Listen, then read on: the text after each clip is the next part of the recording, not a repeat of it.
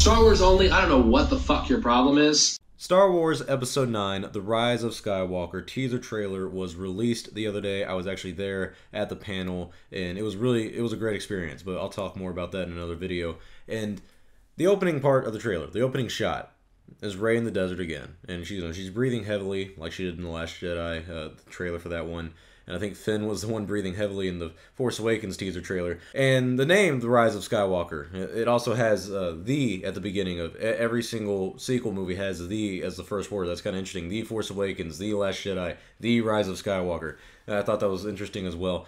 So this opening shot is Rey li- listening to Luke, basically. Luke is talking to her, saying, "You know, a thousand generations have passed on to you. Uh, this is your fight and everything." I, I was I was kind of surprised that I, I think she's basically a full fledged Jedi now because yet again she still doesn't have training, and that that still kind of perplexes me. But anywho, the shot of the Tie Fighter coming at her, she gets the lightsaber out, activates it, turns around and starts running, and then does this amazing backflip. That entire shot was beautiful. I, I can't wait to see that live and the music they have going on at that time and basically what's going on there because I don't think the TIE fighter is attacking her. The, the TIE fighter is um, Kylo Ren, I believe, or whatever it's called, a TIE silencer. I'm not familiar with all the ship names.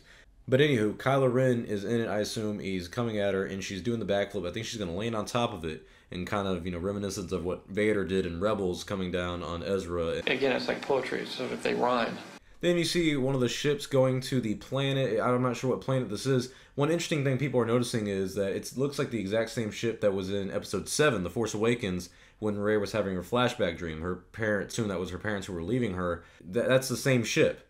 So that was kind of interesting seeing that. Then you see Kylo Ren honestly being a badass, going through a forest. It's all really red. It doesn't look like he's fighting a resistance trooper. Some people are saying it looks like he's fighting the Knights of Ren kind of stormtroopers or something like that. Now I'm not sure how accurate that is at all, but still, there's a lot of interest in that, and I I just like that shot in general. Him taking the guy down, putting his, putting the side of his blade into him. That was pretty cool. I'm excited to see that scene and action like that.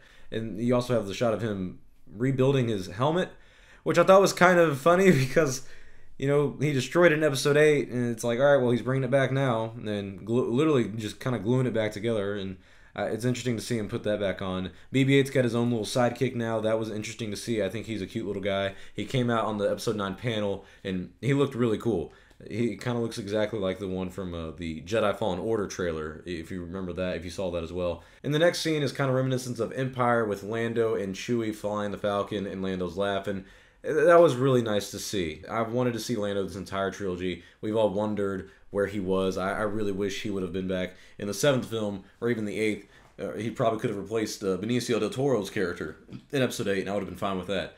But it's nice to see him back in the Millennium Falcon chair and laughing. I thought that was a really nice uh, scene and the words they say are also reminiscent of episode one where it's you know every saga has a beginning and you know this one's about the you know the saga comes to an end. Again it's like poetry so if they rhyme. Speaking of poetry rhyming it looks like they're doing a pod race scene in another desert planet. Reminds me of episode one of phantom menace as well. They're being chased by first order troopers and you see poe and finn and c3po uh, an x-wing gets shot down.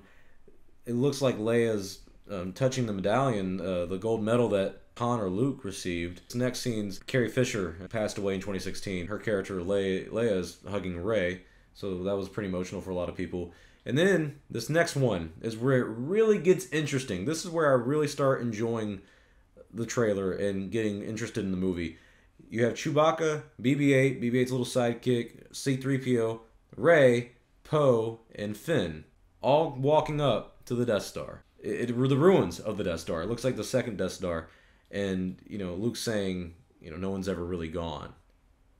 That's just so intriguing, and it reminds me of the Force Awakens concept art where they were going into Palpatine's, I, I think, throne room to retrieve the map to Luke Skywalker or something like that.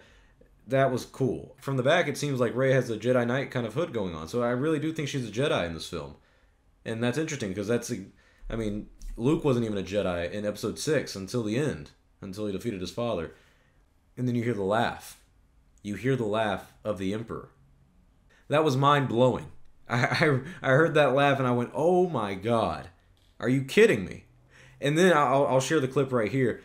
in the panel for episode nine, Ian McDiarmid came out and he said, "Roll it again." But before he before he even said that, I, I was recording the panel and I saw him come out, and I you can hear me say, "I was like, oh fuck."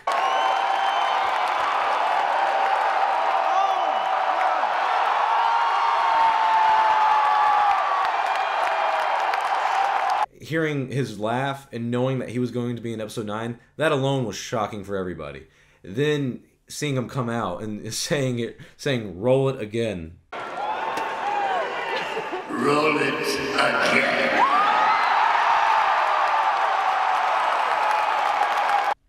Amazing that that was a great moment I, you, it was one of those things where you really had to be there and then the title was released the, the rise of skywalker and you have a lot of questions coming out of that I, I have a few myself and I have some concerns. I'm excited to see the Emperor come back because to me it does make sense the fact that he is the overarching villain for the Skywalkers, for the for, for the entire saga in general, the Skywalker saga. He's always been the main villain. In the original trilogy, he was the one that controlled Vader. In the prequel trilogy, he was the one who controlled everything. He controlled the Republic, he controlled the Separatists, working behind the scenes. And don't forget, so it's for me, my concern with him coming back would be it may diminish what happened in the original trilogy Luke's arc, Luke's battle against the Emperor and against the dark side. But, anyways, Emperor Palpatine coming back, he could be the main villain, but it's hard to believe that he'd come back in physical form. But there's a lot of interesting stuff in canon that alludes to the fact that he knows a lot of stuff about the dark side that we don't, and about the Force that we don't. In the canon books that we have now, in like the Aftermath trilogy, he went out looking for stuff in the unknown regions. He's concerned about something out there in the unknown regions, and he had the empire that was destroyed basically get together on Jakku and fly out to the unknown regions and kind of regroup and become the First Order, it seems. Where does Snoke fit in all this is a huge question. Was Snoke just another puppet of Palpatine? That makes sense. You would, if you argue that they're trying to erase what the Last Jedi did, and I, I don't think that's the case here entirely this would seem like a decent way to do it of being like, oh, okay, well, Snoke died, yes, but that doesn't matter because Palpatine's the one in charge. But they also could just be teasing us, and Palpatine not even being the movie. He could just be a dark side ghost. He could just be a a hologram. Kathleen Kennedy has confirmed that he is in the movie, but we don't know too much about it yet. Of course, we all want to know more about it. Another question is the rise of Skywalker. That name really catches my attention because if you remember in the past, we've talked about this a lot on the channel, is that I've wondered what they're going to do with the Jedi Order after Episode 8. Episode 8 was kind of definitely saying, hey, the Jedi are no more. Luke said at the end, though, the Jedi are still going on in Rey, and I assume Rey is a Jedi. But like I said, you know, she hasn't, she's, she hasn't done Jedi training. She hasn't done any of that. So it doesn't really make much sense. Yeah, she has the books, but even Daisy Ridley said in the panel that she hasn't read all the books yet. She's, you know, kind of getting into it, I believe. So if they're getting rid of the name Jedi and the Peacekeepers of the Galaxy turn into Skywalkers, like just Skywalkers in general, that could be an interesting idea. I'm not the biggest fan of it just being Skywalker, but in a way, it, it would make sense. Leaving the legacy of the Skywalkers, I, I can't be too mad at it. The question also could be would it be Rey or maybe even Kylo Ren being the Skywalker? Or maybe even Luke. You know, Luke comes back and he rises up again. That, that doesn't make sense to me, but that's another theory people are having out there. Do you think Colin Trevorrow, the the director originally for Episode Nine, would have had Palpatine in it? Do you think he would have brought Palpatine in? Uh, maybe that was the uh, creative difference that they had. I really wonder what Colin Trevorrow would have done with Darth Sidious and how he would have brought that character into Episode Nine, or if he would have used the character it's just an interesting food for thought, in my opinion. But tell me your thoughts below. I can't wait to hear what you guys have to say. Give me your opinions on it. Did you like the trailer? Did you not? I'm Star Wars only. Hope you guys enjoyed this video. I'll see y'all next time, and may the Force be with you always.